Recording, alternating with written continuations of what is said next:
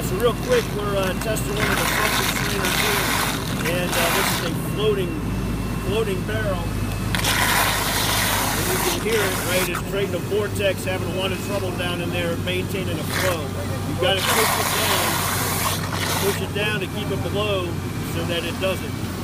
And this is on 20 feet of hard sleeve, right? So not sure if it would be different if you had 40 feet out there. Okay, part of this test is everything is the same. 20 feet of hard sleeve. They were only about uh, four foot of lift here. So I wanted to catch that showing that.